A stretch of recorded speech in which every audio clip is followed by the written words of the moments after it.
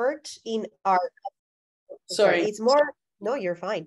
It's more obvious how it's been more pervasive in latin america just because of the ways in which they discovered you know the new world. They called it the new world which is what we call america the entire continent today. But sometimes with africa it's not as obvious because christianity was in africa well before many uh, european hegemonic christianity was there so we have the ethiopian church and we have other different churches in north africa that were developing earlier than you know any roman empire took over which mm. is what a lot of people hold on to to say that africa's christianity is not um, uh, oppressive but we know that a lot of african countries that we call countries today by power of dominion and by power of colonization were colonized in because of christianity and because of course of other things but a lot of the we'll focus on Christianity. And I love to say that Christianity can be both. It can be a weapon of oppression, but it can also be a tool for liberation. Uh, and also, it can be something that you don't engage at all. Like you don't have to be a Christian. This idea that we have to be Christians is a, a hegemonic idea. And uh, there is a characteristic of white supremacy that is homogeneity. I sometimes I say things in a weird way but homogeneity uh, teaches us that we all have to be the same way and white supremacy teaches that white supremacy says that we all have to behave like white europeans behave that we all have to understand the world like they understood the world that our marriages and our relationships with our children our relationships with our family extended family has to be um, has to look the same way that Europeans look. We have to dress how they told us to dress. We have to behave how they told us to behave. And Christianity has played a huge role in making that expectation of homogeneous society uh, something that we all consider a good thing. So that's why we mm-hmm. see families and we think about this idea of the nuclear family as a mom, a healthy family in our brains is a mom, a dad, and a couple of children but that is not there is no evidence before, before that assertion. There is no evidence at all. There are healthy people that come from divorced parents. There are healthy people that come from single parents. There are healthy people that were raised by their grandparents. Health is not, you know, uh, health is not co- constrained by the ideologies of one way of being. And hegemonic Christianity has taught us that we all have to be Christians, that we all have to be in certain families, that we all have to be heterosexuals, that we all have to be. But the world is a lot bigger than that. And our ways of existing are a lot bigger than that. And it is really bizarre to believe that there is a divinity, whatever you believe about divinity, you know, but to believe that there is a divinity out there that demands that we all fit into very narrow boxes of existing and being. And those boxes just happen to align magically happen to align with the way that European white European Christians have chosen to be in the world. And so this reclaiming of Christianity or reclaiming really of religion, reclaiming of spirituality means reconnecting. There is this word in Hebrew called emet. The word emet means uh, truth. But truth, the word emet in Hebrew is three letters, and it's the first letter of the of the alphabet of the Hebrew alphabet, the last letter of the Hebrew alphabet, and the letter in the middle of the Hebrew alphabet. And the Hebrew language is a little bit different uh, than English or Spanish, for that matter. Um, in English or Spanish, we have words and then we have meanings to words. But in Hebrew, we have letters and the letters have meanings. And the connection of the meanings of the letters make up the meaning of the word. So the meaning of these letters is really a remembering. Truth is remembering. Truth is all of the things that can we can look at through the beginning, the end, and the middle. It's a journey. Truth is a journey. So truth is really never objective inside of these ancient Hebrew ideologies of what truth means. Truth is not objective, but it's really subjective. It's a story of you, it's a story of a people. So the truth of the Christian, you know, uh, people is not the story of what's happening with Christianity right now, but it's a story of how Christianity began, what is happening with it right now, and what is happening in the future. And beyond that, it's the story of what's happened to you and Christianity because the truth about christianity for Kamsi or for me or for you know anybody else is very different for each of us and no, your truth is not diminished by mine. You know they just happen to coexist together. But christian hegemonic power says that the truth is objective and objective truth has to be found inside of the way in which they interpret the bible. People in power they meaning people in power. And that is oppressive in itself because then your story my story our truths our emets then are reduced to what can fit into what they has told us has fit has to fit and so there is this, you know, the movement here in the US a lot uh, called Land Back here in the US and in Canada. And Land Back is a movement that began with indigenous people that said, we want the land back. And in the capitalistic mindset of Americans and Canadians, uh, what they heard is, we want you to give us the land, like to give us a title to the land. And indigenous people are like, no, nobody owns the land. What we want is to be able to continue to treat the land how we treated it for millennia before you got here. What we want is to be able to be in communion with the land like we used to be in communion in the land before capitalism. Well, there is a similar movement with spirituality. When we say we want our spiritualities back, when we say we want to remember and we want to have Christianity or spirituality in general as a tool of liberation, we are not saying that Christianity overall has to be what we say Christianity is. We are not saying that people have to submit to what we say Christianity is or what we say spirituality is.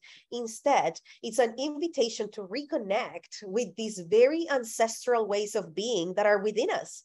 And so I started studying neuroscience and neurobiology, and I started learning about epigenetics and how there is basically your our nervous system is incredibly with wise and vast and it has been evolving since humanity began. Um, and our nervous system is picking up information all the time without our conscious prompting. So all the time my nervous system is picking up information. For people that are oppressed is picking up the information that we are not safe. For women of color particularly more so for black women the information that we're hearing all the time is you are not safe. Be aware. Be conscious. Don't show up fully as yourself because they are going to tell you to just tone it down, bring it down. Don't be a not Christian or against Christianity because you will be murdered. And this information that is stored in our bodies is passed down generationally.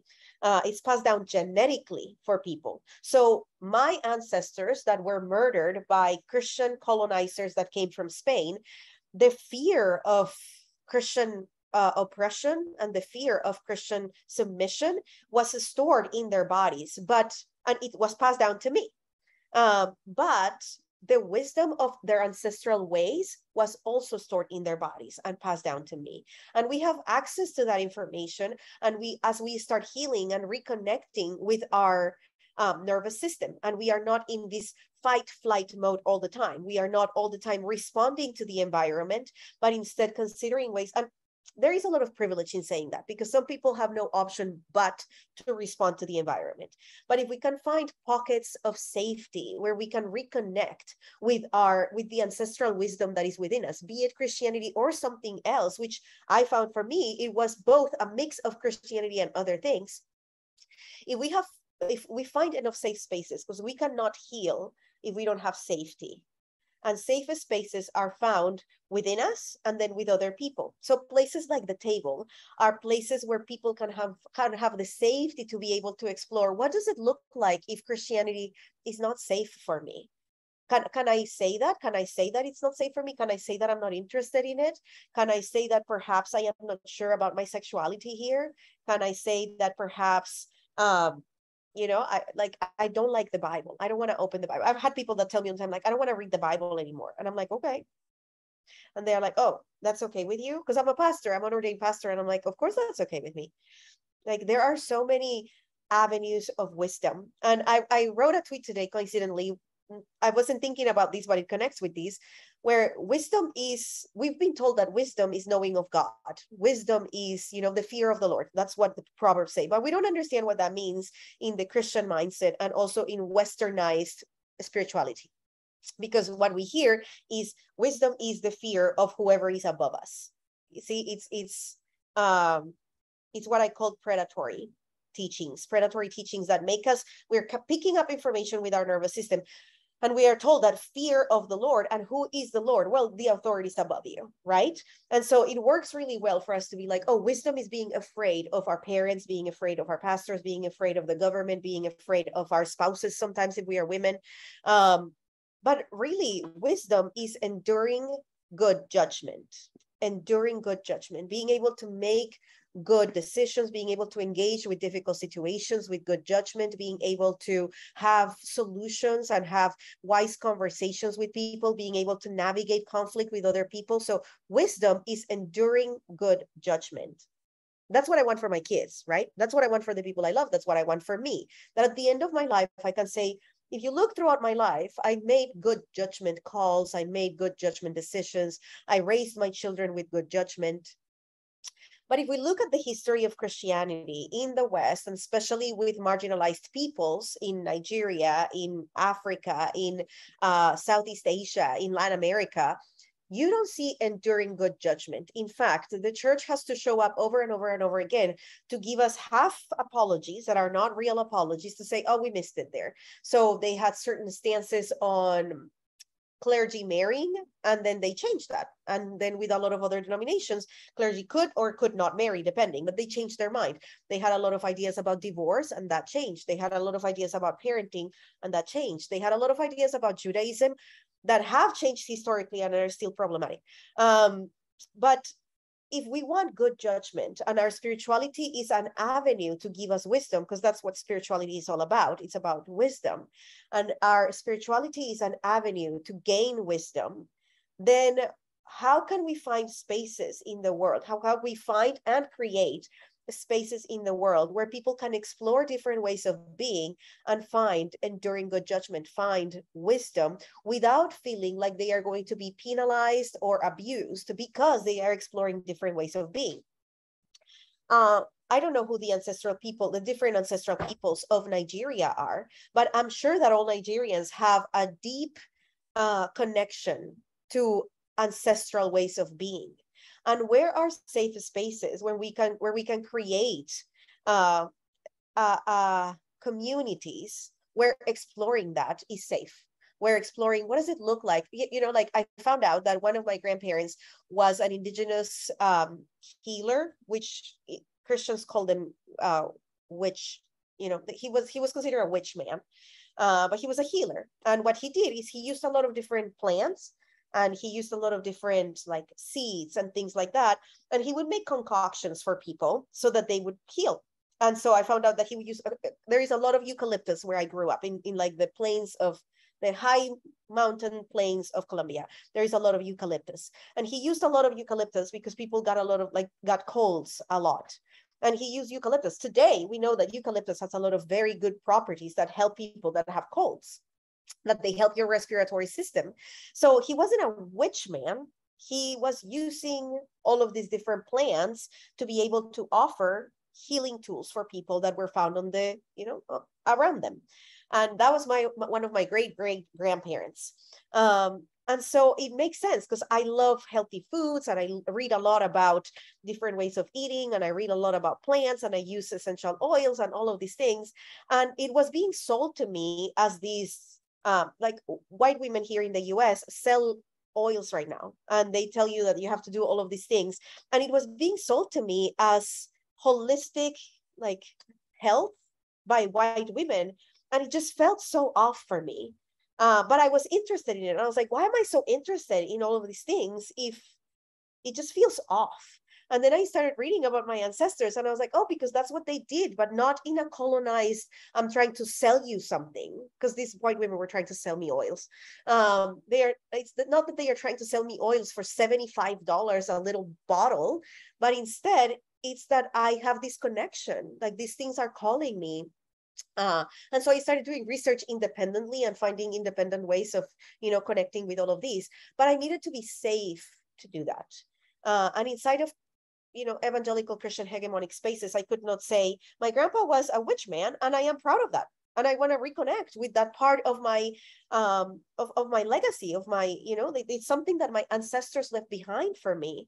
And so you'll see me putting garlic on my children's food when they are sick because I know what garlic will do for them.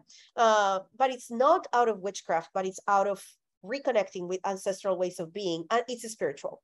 Because we've inside of christianity the division between the spiritual and the secular exists. But inside of judaism or inside of our ancestral ways of being there is no division between spiritual and secular. We are spiritual beings therefore existing means that there is a spiritual component to our existence. That doesn't have to be the truth for everybody but in our ancestral ways of being there was no division. So secular was an invention of hegemonic Christianity to call everything that wasn't Christian secular. But secularity doesn't exist. We're just human beings that have different aspects of existing. And some of those aspects include spiritual, our spirituality. And so the only way that we can disrupt um, hegemonic practices and using spirituality as a tool of, uh, I'm sorry, as a weapon of oppression over a tool of uh, liberation is to become the tool of liberation. It's to become the tool of liberation and therefore become safe spaces where people can say, these are questions that I have, or these I these are things that I'm struggling with, and they can feel safe in our spaces. That's why I call everything that I do the living room, because being in my life is being in a living room with me where you can ask any questions, take off your shoes, kick up your shoes into like the couch. I never sit straight, like somehow I'm always sitting like my legs are up. I don't know why I have an inability to sit straight. So I tell people like you can sit however you feel comfortable in my life and that's also a metaphor to you can be whoever you are in my life too. You can explore whatever you need to explore. You can ask any questions. And so long as your beliefs do not cause harm to others.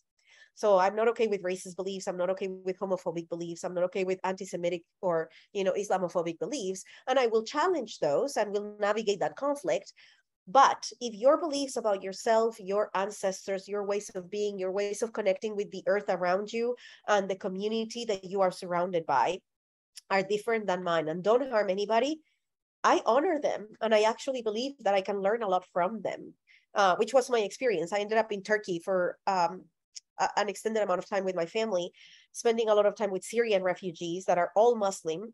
And they were sharing with me their spiritual ways of being and existing. And I learned so much I, I didn't convert into Islam. I wasn't interested in converting into Islam and I'm still not interested in converting to Islam. And yet I have a lot of respect for Islam because of the things that I have learned from Muslim people and the things that I learned from them without having to convert. That's that can exist too. You can learn from other ways of being. And sometimes those ways of being will call you into exploring further, which has happened with me and Judaism. But sometimes it'll be like, I learned a lot from Islam. It's not for me and that's fine and i honor the parts that i learned. So the question that i like to leave people with is knowing that emet truth is really subjective knowing that truth or you know understanding that the way that we can understand truth is emet as as subjective as moving through history as not something that happens right here right now but something that we have to look over time something that requires for us to understand the complexities of a people's story and of individual stories, what would it look like to respect and honor and make room and space for places where uh, plurality is celebrated and homogeneity, homogeneity, that's really hard to say in English, homogeneity is not something that we are pressuring people to fit into, but instead we celebrate plurality, we learn from plurality, we are excited about plurality, and we know that there is unique and specific wisdom, right? Like good ways of engaging the world, like good judgment for engaging the world. There is a specific wisdom that is hidden inside of the DNA of each one of us because our ancestors have left it, whether wisdom to keep us safe or wisdom to continue to exist in the world and, and flourish as the people that we are. How do we make room for people to explore the wisdom within them and share it with us? And how do we make room to explore our own wisdom? Where there is fear because of the colonization that we've experienced, because of the oppressive ideologies that we've been indoctrinated into. What does it look like to give room and make room and make space to be safe, to explore the wisdom in others and in ourselves, to create pluralistic communities where all people are welcome and all people feel safe. So I'll stop there and make room for some comments or we can have conversation if that's okay. I don't I don't know what how long you want me to talk to for. Thank you. Yeah, I was going to say if anyone wants to jump in and has comments or questions, we can go right into it and then continue the conversation in a Q&A sort of style. And yes, then people can, because I, I know that some people probably already have questions. So feel free to type up your questions if you don't feel like um, speaking and we can read them out, or you can just unmute yourself and feel free to talk. Yeah. I have Hi, questions Jo. and stuff, but I don't want to start. So let someone else start. yeah, I, I think I'm taking a lead here. I don't know. For some reason, she said something that caught my attention. And um, she was talking about how she she mixes or they mixes uh, they mix um, Christianity with other form of spirituality, and that's the way they approach their spirituality. And I say, I think my question would be, what do you say to people or Christians that feel like, oh no, you can't be a Christian and mix this with that. You have to be a full hundred percent Christian, so to speak. Um, I guess that's my question. Yeah. Yeah. Thank you. I get that all the time. I'm told I'm not a Christian all the time.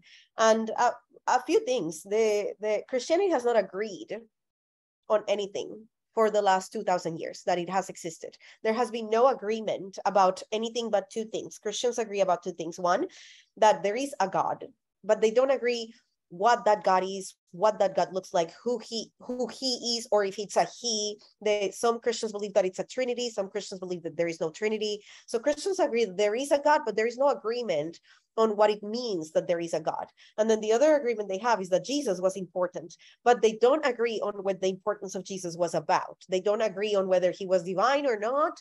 They don't agree on whether he literally resurrected or not. And agreements have existed for always. If you read the Gnostic, um, different uh, like Gnostic books of the first and second century, they didn't believe that Jesus was human. So there is so much disagreement that the books of the Bible, the canon of the Bible, are still in disagreement. So you have the Protestant books, and then you have the Catholic books, and then you have the Eastern Orthodox books, and then you have the books of the Ethiopian churches. And so you have a different, like Ethiopian, I believe that the Ethiopian canon is 88 books as opposed to the 66 books of Protestants. So there is really no agreement about what it means to be a Christian. Uh, the only thing that all Christians agree is that Christians follow the Christ, but they don't agree on what the Christ is. So my understanding of the Christ is the divine within me. I believe that Jesus was the Christ, but I don't believe that the Christ is limited to Jesus. It means that there is a consciousness, a reality uh, that makes you the Christ. And Christ is the divinity within you, the most authentic version of yourself, living according to how you were created to be. That's what being the Christ is for me. And so I follow the Christ, and in following the Christ, I've moved away from hegemonic Christianity. And if you think about Jesus, the more he followed the Christ, the more that he moved away from hegemonic powers and the more that he challenged the powers that be, mostly the Roman Empire ideologies that were seeping into Judaism. So people tell me all the time that I'm not a Christian, and I tell them, you know what? They believe that Jesus wasn't a Jew sometimes, and they believe that Martin Luther wasn't a Christian and he was excommunicated from the church. And most of you idolize Martin Luther. They believe that a lot of people that were martyrs of the church by the church, because the people that have killed the most Christian, the most Christians in history are Christians. Most martyrs of the church today that are like they were heroes of the faith were martyred by Christians because they were told that they were not Christians. They were considered heretics. So sometimes it happens to be a compliment when people that use Christianity in ways that are hegemonic and cause harm. It's a compliment to be told that I'm not a Christian. And I say that to them, and they don't like it either. But that's okay. We are I have learned that if we are going to stand against oppressive powers, we are going to be told that we are not things and we are going to be told that we don't belong.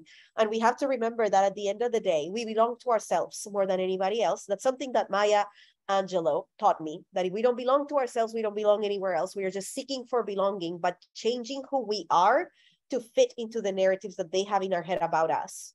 Uh, and we can't do that. That's betraying the Christ within you you know maiming yourself cutting parts of yourself to fit into what somebody else says you should be to be able to be accepted is this is it's antichrist because that's not who you are that's who they want you to be and so they'll tell you that. And what does it mean to not be a Christian? It means you don't accept me as a Christian, and that's fine. You don't have to accept me as a Christian. But their opinion of our spirituality is quite honestly irrelevant. What matters is the opinion of ourselves, you know, the relationship we have ourselves with divinity, and the opinion of our immediate community, these pluralistic communities. Are we harming you? Are we causing harm? Are we causing abuse? No cool. Then we keep on moving forward. And if we are a christian then nobody can take that away from you. Um, i was i was invited into judaism. It was the most beautiful. No but jews no, don't proselytize. Uh, but i was talking to my friends. I have a lot of jewish friends and i live in a very jewish community. And i was saying that i love judaism. You know it's it's beautiful. It's taught me so much. I've learned so much from judaism and from learning hebrew and she told me she said you do know that you have a, a jewish soul and I was like, I don't know what that means. And she said, Well, in Judaism, we don't convert people because we believe that souls have belonging. And Jewish people will always come back home, whether in death or during life. They'll always find their way home because your soul belongs. Your soul simply belongs. There's nothing you can do to stop being a Jew. There's nothing you can do, even if you're never a Jew or in life, if your soul belongs to Judaism, your soul belongs to Judaism, and you and I are siblings.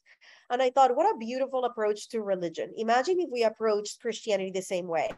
And I do, I approach Christianity the same way. If you belong to the Christ, there is nothing anybody can do to take that away from you. Because what power does a human have to take divinity away from something that is inside of my DNA, from something that is inside of my spirit and soul?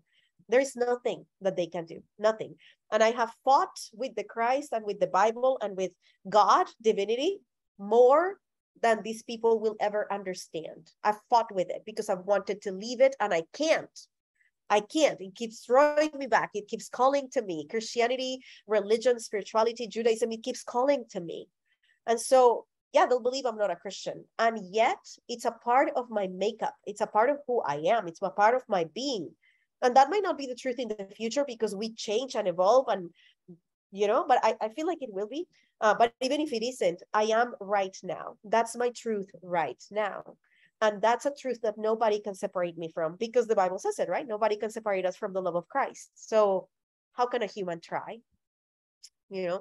So but it, it doesn't it, and i don't want to diminish the reality that those words hurt sometimes depending of who they are coming from they hurt. And sometimes I say that it hurts me when you say that. It makes me feel like you don't want me to belong unless I fit into the idea that you have of me. And you're asking me to betray myself for the purpose of belonging to you. And that hurts me because that means that you don't love me. You love the version of me that you have in your head, but that's not me. You either love me as I am, or you're demanding that I fit into the boxes that you've made for me. And that's not love, that's coercion and that's abuse. So I, I want to validate that it's hurtful because of that reason, you know, but nobody can say that you are not a Christian because we are. Thank you so much for that fantastic answer you gave. Because honestly, it be it be the people that are very close to you. Like I'm also a pastor kid and I relate so much with Orion Kamsi. I just don't I'm not the loud one, but mm-hmm. I I know how I go th- went through my own process as well. I mean, decom- decomposing and the the what's the word again? Please help me because I'm struggling here.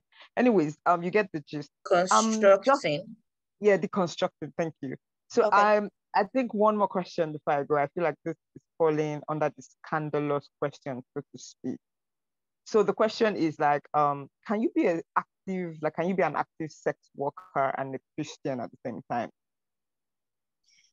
I mean, depends on who you ask. Um, but in my opinion, yes uh, there is no ethical consumption inside of capitalism. There is no ethical consumption. All of us are selling something. All of us are hurting somebody with our consumption. I remember when I learned about the, I love chocolate. That was not emphatic enough. I love chocolate.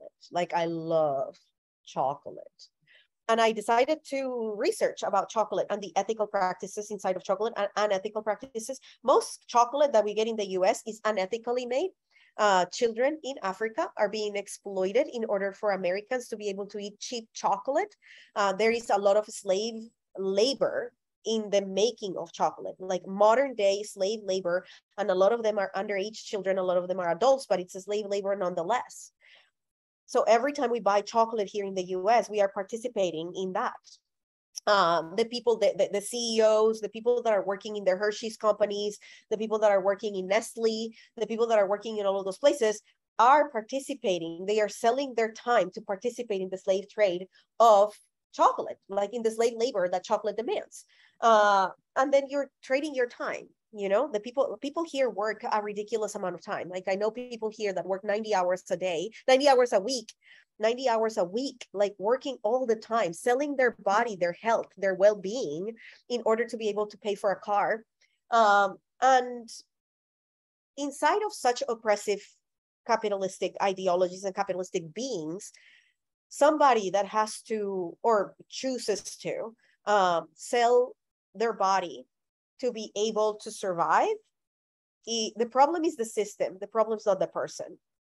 Uh, it is more problematic for me the the billionaires that are making people work for five dollars an hour, six dollars an hour, that don't give them breaks to be able to go to the bathroom, which happens with Amazon, while Jeff Bezos is worth 134 billion dollars. Uh, to me, Jeff Bezos is much more problematic than a sex worker that is trying to pay the bills. You know, we we all are making decisions to pay the bills that are harming somebody else or that we don't ethically agree with.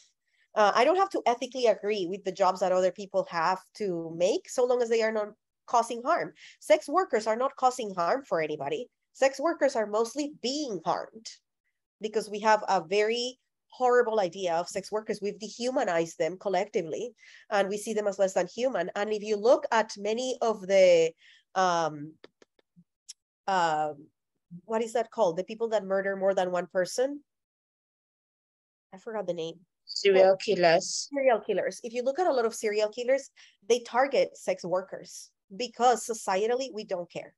Because if they were killing white rich women, they would be able to kill one. And then the world would stop. Uh, and we would make sure that they don't do it again. But they kill sex workers because we societally don't care enough especially if they are trans sex workers. And so it's the dehumanizing of women, the dehumanizing of sex workers. What's the problem? But sex work is not the problem. Sex work is work. And all work inside of capitalism is problematic, all of it, like all of it. And we have to survive.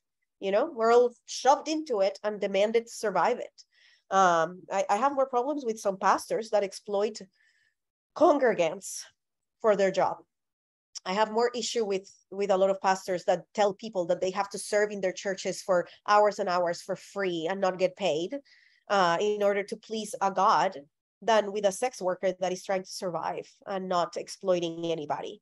So, uh, but that's my opinion. That's totally a matter of opinion. Thank you so much again. Thank you. Thank you, Thank you. Have an echo. It's like you're very, you know, divine. Like your voice booms through. um, or do you want to go next, or should I read out? There are some questions in the chat. Should I read those out? Oh, yeah, you can read that one first, and then I'll go after. Okay, awesome. So the first question I see here is from Carolina, and um, they say, "Hello, could you please repeat what you mentioned about the word for truth in Hebrew and its definition?" Yeah, the word for um, I can actually, I, I, I can see I can do this too. I I will send you an email with some it written because it's a lot easier to explain. Uh, but the word is emet, E M E T. That's the transliteration in English. Um, the word is emet, three letters, the first letter, the middle letter, and the last letter of the Hebrew alphabet. And it's the meaning, as I said, is complicated, but it basically means a journey uh, of observance, like a journey of remembering. It's what's happening to you. It's subjective, it's not objective. So truth is this word emet, um, that it cannot, like English falls short in explaining it because it, it basically means the beginning, the middle, and the end of a story, all of the story. Like a truth is not just the beginning, a truth is not right now, but a truth is a journey of experiencing things.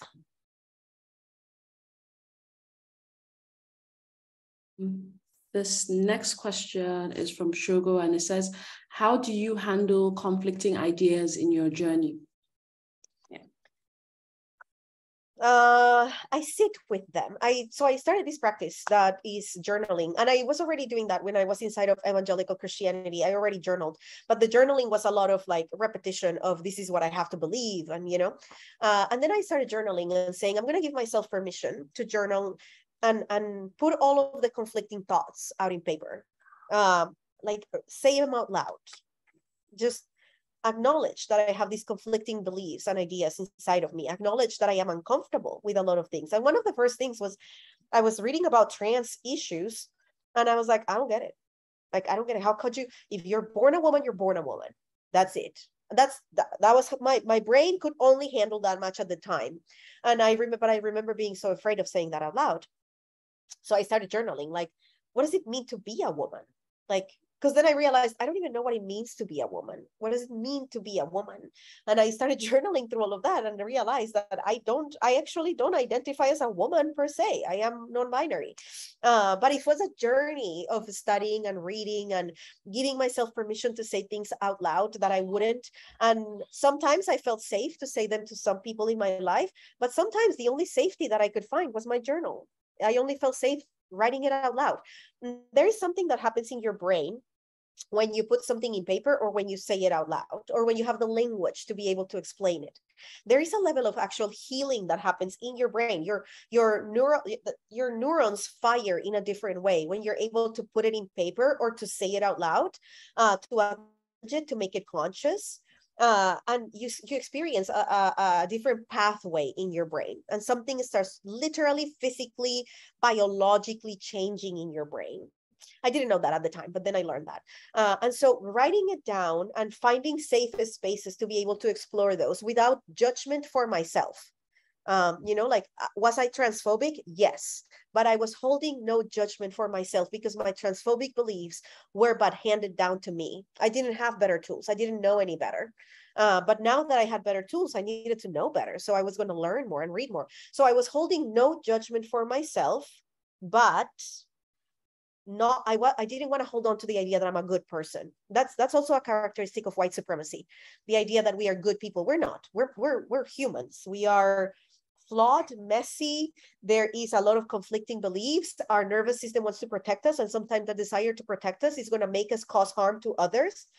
So realizing that I don't have to prove that I'm good that I don't have to hold on to the idea that I'm good, but instead I want to hold on to the idea that I'm human and complex and evolving and learning. I gave, I created space for me to be able to say the conflicting things that I was believing. And if that was just my journal, then it was my journal. But if I could find somebody that I was like, can you explain this to me because I'm really confused, then that was it. And now I've become, I've tried to become that safe place for other people. So I have a lot of people, like my dad, for instance, he was like, I don't understand anything. I need you to sit down. So we started meeting once a month and having dinner. And he would ask all of these questions. He was like, I don't understand. What's the big deal with feminism? I'm a feminist. I think women should have the same rights.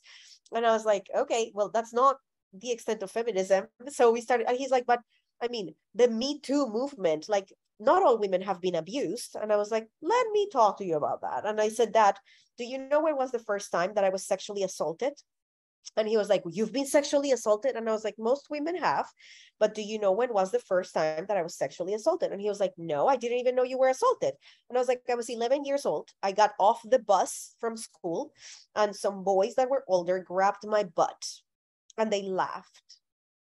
And when I told my mom, she was like, That happens. I'm so sorry, honey. Ignore them because she didn't have better tools either. And what would you have told me? And he was like, I would have been angry, but I probably would have told you the same thing. Uh, and I was like, that's sexual assault that we've normalized for women. So when we say me too, what we're saying, being a feminist means that's unacceptable. Nobody's going around touching men without their consent uh, you know, other men, but women are not going around touching men without their consent. That's not a common thing, but it's a common experience for women. So, what does it look like to raise children that don't tolerate that and to give them the tools to say that is absolutely unacceptable? And for those boys not to laugh, but to say to their pal, you cannot do that to other women. It's absolutely unacceptable. And so, but my dad was blown. He was like, I had never considered any of that. So, what is it? But he said, I could have never talked to anybody about that because I felt ashamed of not knowing more. And I didn't know what I didn't know. So, finding places that are safe, one, and then being honest with yourself, having the courage to say, I believe really problematic things, having the courage to say, I don't know that. I, and I've acted like I do. Like we all have acted like we know Judaism because we read the Old Testament, which is not the same as the Hebrew Bible. But you know, having the courage to say I'm ignorant in this regard, having the courage to say i am holding on to really problematic beliefs that I and I want to know why. What's the fear there of letting them go?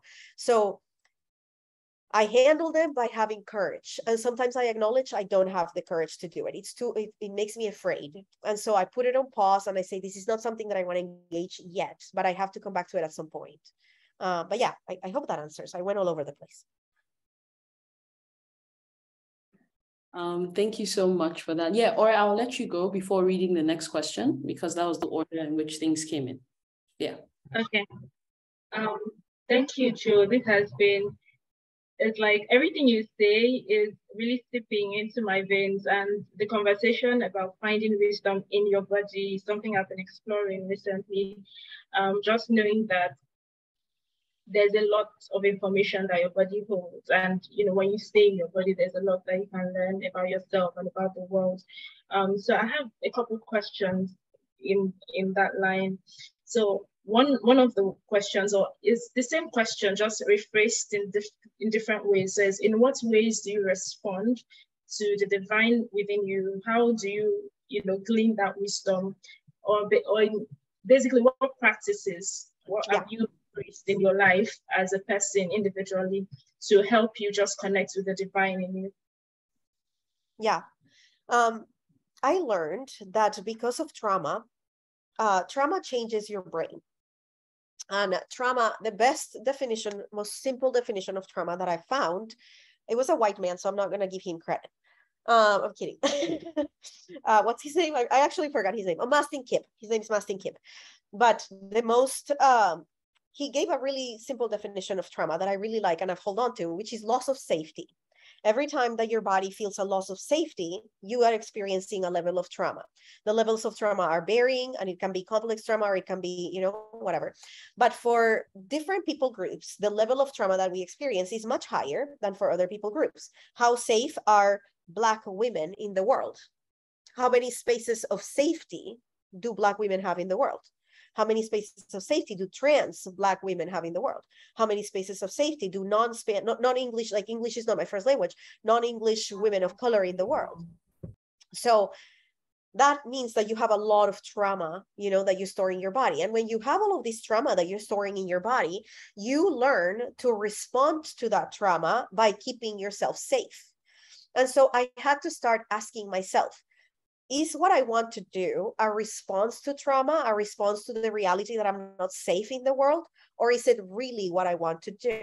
So, for instance, one of the examples that is perhaps one of the biggest things that I did in my life out of trauma was getting married. I didn't want to get married. I never wanted to get married. Growing up, I remember telling my mother, I don't want to get married. I never want to get married. It sounds like a really bad idea. I don't want to. And I was, my mom was like, all little girls want to get married and want a wedding. I never dreamt of a wedding. I never pictured myself wearing a white dress. I didn't care about getting married. But I got married because I was told that I had to, because all of the programming societally and from Christianity it was like you have to be married, you have to get married. Uh, it's expected. Like you, your life cannot be good unless you are married, especially for women. Your life cannot be good unless you are married. So I got married. He's a cool guy. He's nice. We're actually right now going through a divorce, a good, healthy divorce. We both agreed like we don't want to be married. We want to be friends. Um, but I was making the decision that everybody thought was a healthy, good, wise decision. He's a great guy. I liked him. He liked me. It's fine. But it was a decision out of trauma, not out of my, like what I wanted to do with my life, what I wanted to do, where I wanted to engage. And I realized that connecting with your body, connecting with your ancestral wisdom requires a lot of trauma work, requires a lot of saying, what are decisions that I make out of trauma, which is fine. Making this like there is no judgment in that either. Staying safe is important. Uh, but eventually we have to create enough safety so that we start making decisions out of real wisdom, the real wisdom that is within us and not the trauma that is telling us to stay safe. So that trauma keeps you from being able to make decisions out of wisdom because you're afraid all the time that your decision is going to lead to violence. And that's information that is also stored in your body. So you have to be very inquisitive about what's going on inside of me. And there is funny, not interestingly enough, there is science behind this. Um, they say that it takes you about five times of asking why before you can get to the real deep meaning of why you want to do something. So uh, that's you know psych- psychologists and but all of that is ancestral indigenous wisdom of all of our peoples that we're like but what's the real meaning? And i like to call it the hidden motivations.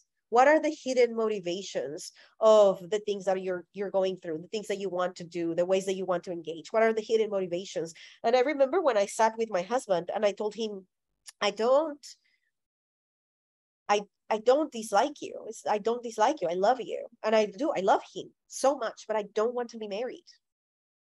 I I don't. So what are we going to do with that?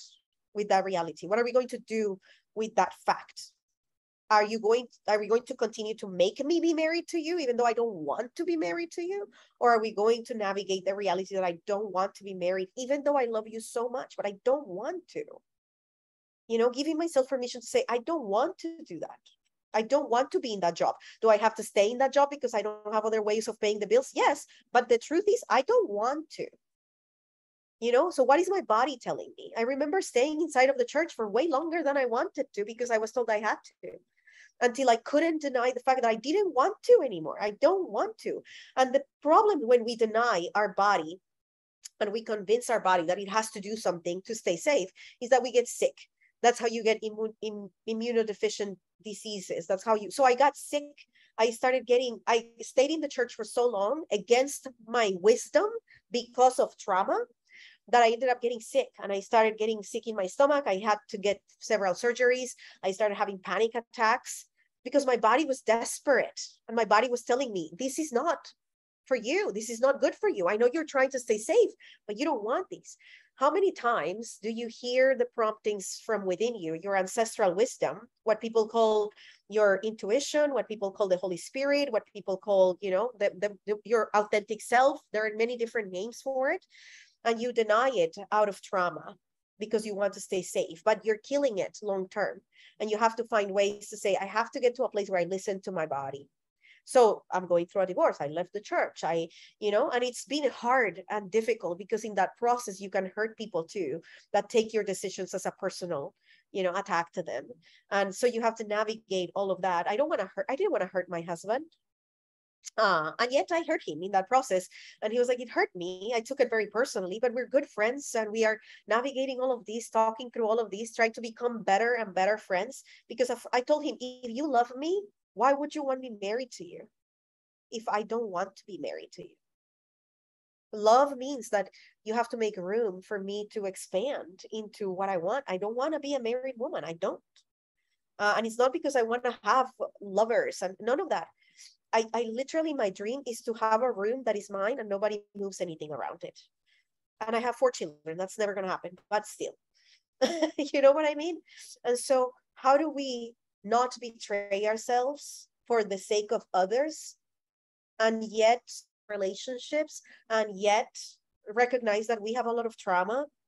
But the truth is that you know what you want. You're just not safe enough. You know your body your inner wisdom is telling you where to go. It's telling you where to move. But we are so conditioned by safety by so conditioned by the trauma especially systemic oppressive trauma that we make decisions to stay safe and not to be true to ourselves.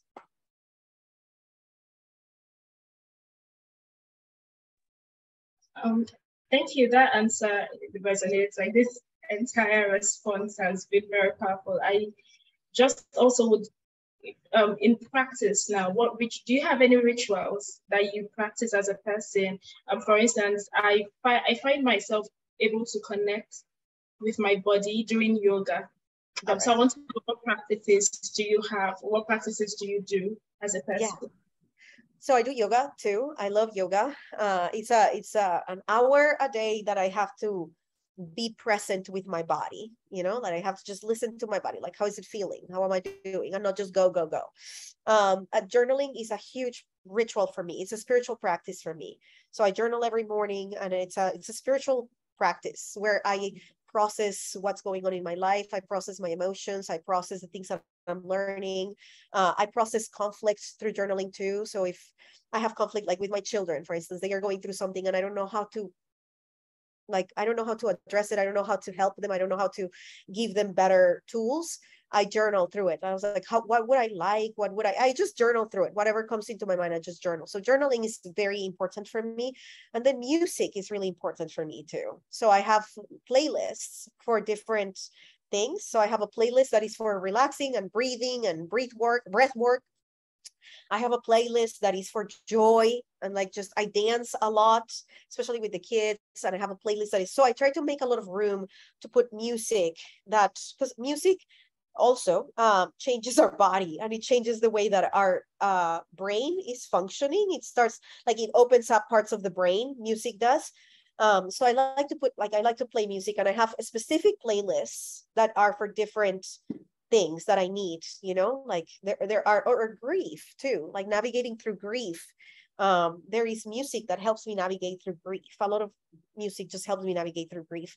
Um, the journaling helps me also process emotions. Like these are the emotions that I'm feeling, but I want to process them. I don't want to just say I'm sad and move on through my day or or medicate my sadness with coffee or with you know going out with friends or with drinks or with whatever. I i want to process my emotions. I want to know why am i feeling sad? Why am i feeling shame? Sometimes i feel shame. Why am i feeling shame? Why am i feeling all of these things? And try to explore what's going on within me uh, I don't want to just dissociate from emotions and move through life. I want to live. I want to live my life. And that requires processing my emotions, which is what journaling helps me with. Music helps me with. Yoga is a really good practice for me to be in my body. And then fun. I really believe that fun and joy are a spiritual practice that is denied to most of us. so I try to have a lot of fun. Uh, people don't believe that I'm super fun because I'm so serious online, uh, or I come off as so serious online, but I'm I'm very goofy and I'm very silly and I love to have just silly fun. Um, so I, you know, now that I live next to New York City, I go on like fun trips to New York City with my kids and we I we tell them I tell them to imagine that we are in a, an adventure and that we are trying to escape from whatever bad guy they have in their movies and we pretend that we're escaping through Central Park and we take the train and we are like just just silly genuine silly fun and laughter and nonsense and silliness um because we are so serious all the time and we're told to be so serious. So i just have a lot of fun and silly nonsense with my kids, dancing, like silly dancing, not pretty dancing, just silly moving your body. And my kids just laugh at everything that I do. Um, but I think that fun and joy are spiritual practice, not to mention they are active resistance against oppression. Oppression steals the joy from us. And I, I teach a message on uh, pleasure because um, we think of pleasure and sex comes to our head, but I'm not talking about sex. I'm talking about pleasure, all sorts of pleasure. And joy and pleasure are very deeply connected together. And pleasure leads us to our true selves. And so I create room for pleasure. Like food brings me a lot of pleasure. So I eat foods that I love because it brings me pleasure. Dancing brings me pleasure. Uh, spending time with my kids, laughing with them. Yesterday, I spent time with their mom, the moms of my oldest daughter's friends and all of their friends and we just laughed and played and you know talked about silly things out of pleasure. So what does it look like to lean into pleasure? Because pleasure has been demonized for all of us. What does it look like to lean into pleasure? What brings you pleasure? And how can pleasure lead you uh, to to you know spiritual practices that you love? For me dancing is a spiritual practice fun and joy our spiritual practice spending time with people. I love that is intentional intentional like time where we are looking at each other talking to each other uh, which we do often. We have friday nights that are family nights and we are just spending time together and we rotate who picks the food. So sometimes i have to eat fast food on friday nights that i hate um, because my kids pick it but just making practice, creating practices in our lives to be mindful to be aware to be alive to to experience the fullness of what it means to the fact that we are alive is it's honestly miraculous. It's it doesn't make sense. The universe is huge and here we are in this little tiny dot alive experiencing emotions conscious you know being able to create realities with the things that we see in our brain. Uh, we don't have a lot of time. I don't know what's going to happen when I die, but I do know that I want to spend this time here and now searching for fun and joy and pleasure and goodness and, and abolition and for people to be able to have more access to fun and pleasure and goodness too.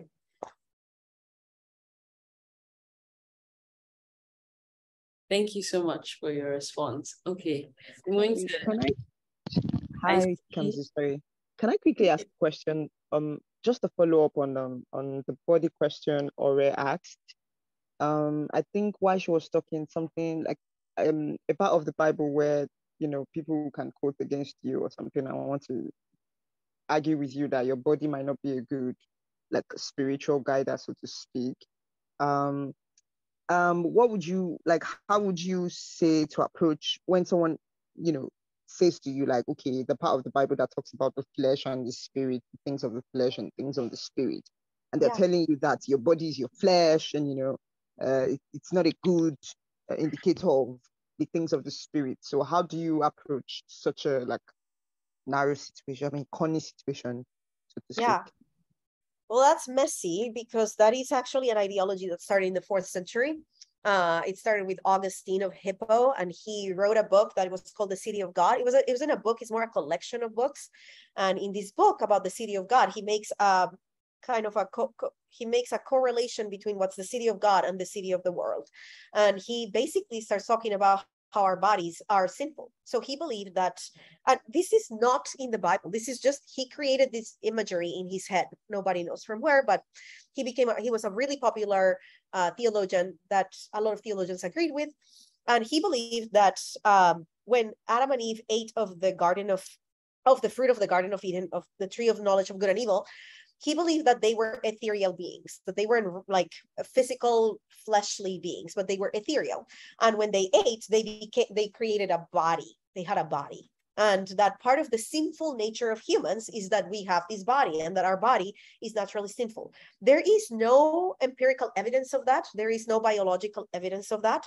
Um, there is no even theological evidence of that being a belief, even before uh, Christianity some people said similar things before Augustine, all Christians, but before Christianity, there is none of that.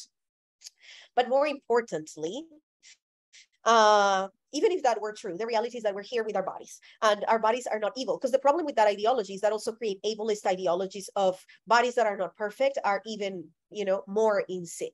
Uh, and what is a perfect body, by the way? Uh, and so fat phobia comes from all of that. And so to believe that our body is sinful is actually to ask us to be dissociated from our body.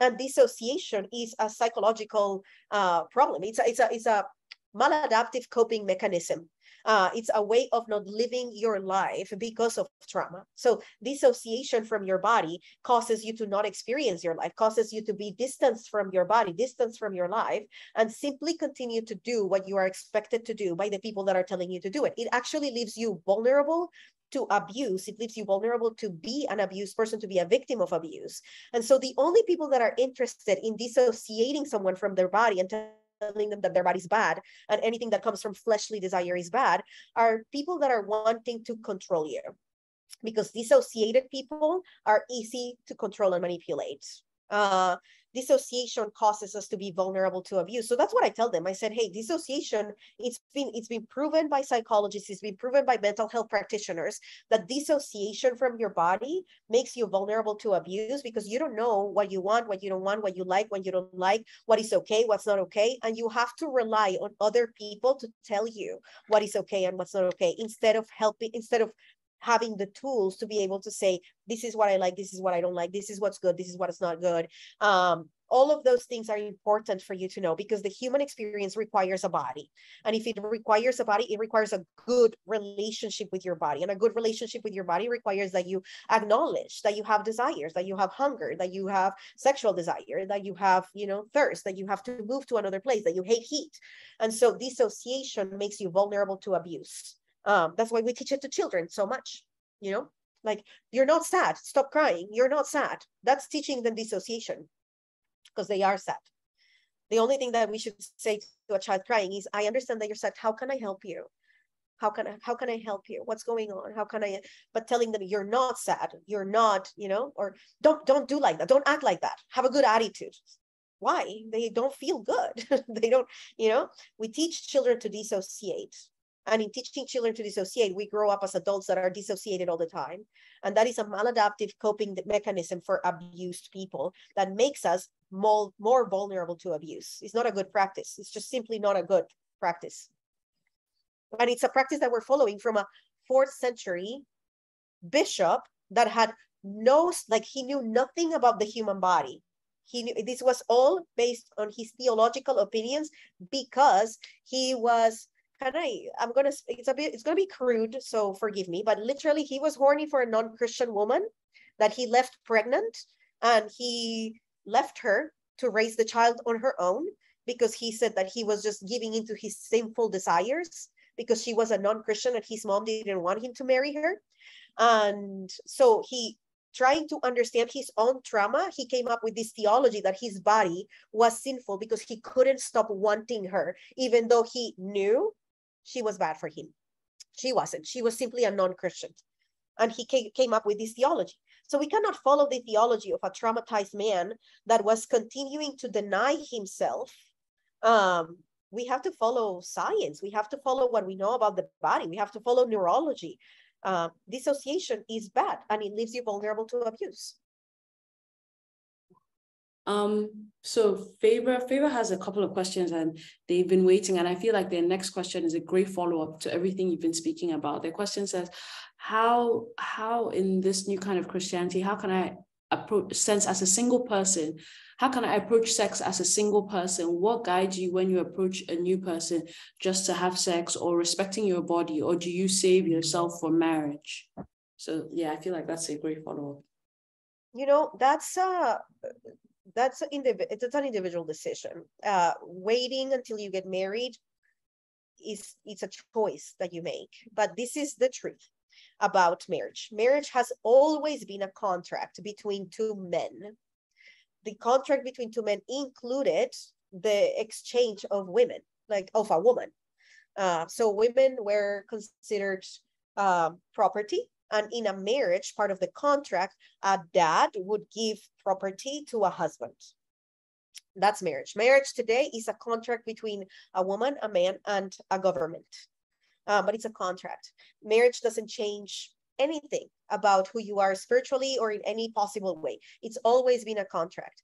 Um, and before it was a contract with the government, it was a contract between men, anyways. The the idea of romantic love and marriage is an idea that started in the 18th century. Before that marriage was simply out of convenience. What is best for these two is it good for these two families to unite? Yes or no? Like that was the whole entire deal with marriage. Uh, and in the 18th century uh, in the victorian era it started creating this idea of oh marriage is love and it's the way that you find love and that's not true some people are married and don't love their spouse ever uh, and some people like me adore their spouse and they just don't want to be married. Um, so the question is, what is healthy sex for you? What is to have a healthy sexual relationship for you? A healthy sexual life, a healthy sexuality. What is it? What does it look like? Uh, does it? If you're married, does it mean that your sexuality is healthy and good? No, uh, when I was married and I was I didn't want to have sex because of all the ideologies that I was putting my that were put in my head growing up that sex is bad and my body shut down. And he was like i don't want to have sex because i think it's bad. Like my brain i can't make my brain think that it's not bad just because i said yes i do one day. And so the relate the sexual relationship that i had with my husband for many years was very unhealthy because the only information i had is you're married so it's good just do it. And so i was having sex against my own will because I was told that I had to because I was married. That was unhealthy sex, very unhealthy sex. And when we left the church and we were exploring more things, I realized, oh, that's really unhealthy. And he did too. He didn't know. And so I said, I'm not going to have sex unless I want to have sex. Uh, and he was like, yeah, deal, like absolutely. And I was like, and I don't know if I'll ever want to. So, you know, like, but I'm not going to have sex against my own will. That's the definition of abuse, sexual abuse. Uh, and so, what does it mean to have healthy sex? And healthy sex requires enthusiastic consent. And enthusiastic consent is I absolutely want to do this. I'm not being coerced. It's not because if I don't do it, then my husband is going to be married, or if I don't do it, my boss is going to fire me, or if I don't do it, you know, it's enthusiastic. You want to do it. The other person is enthusiastically wanting to do it too. And you both respect one another as individuals. You both respect one another as people. Uh, it doesn't mean that you are in a, you know, you can have healthy sex with someone that you're not in a committed relationship with. Um, now, then morality comes into place, right? Because there is a thing that is called ethics, and then there is morality. Morality are rules and guides that we have for our, ourselves or a group of people. Ethics is harm or no harm.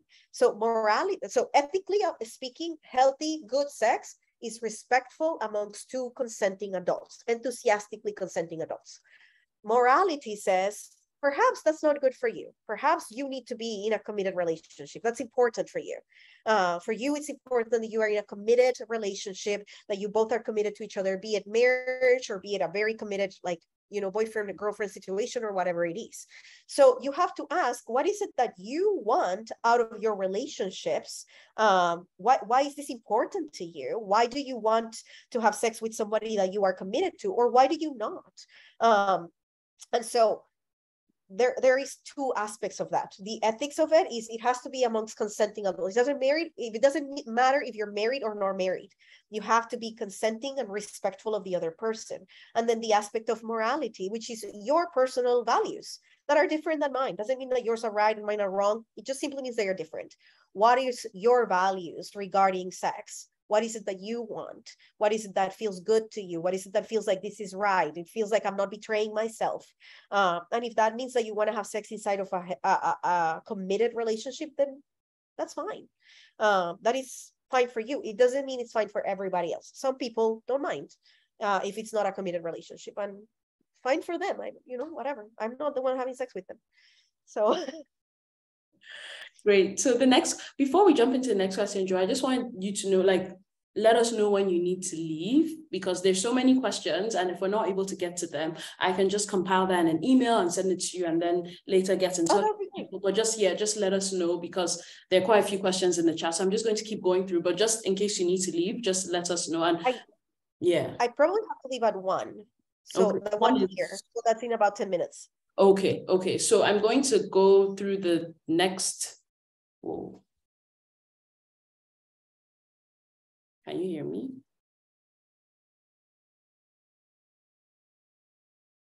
Oh, Gloria Bego. Oh. Hello? Hello?